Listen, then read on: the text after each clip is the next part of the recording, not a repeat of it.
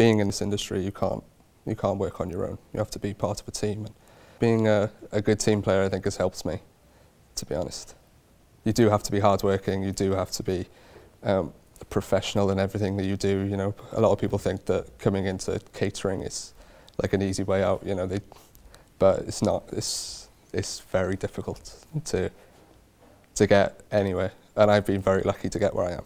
Key to Rhys's success is um, his commitment and dedication, um, putting 100% effort into everything that he'd done, um, helping others right up until BTEC level 3 diploma, um, coming back after his studies to to help other students carry out themed events. Um, he's just a dedicated individual.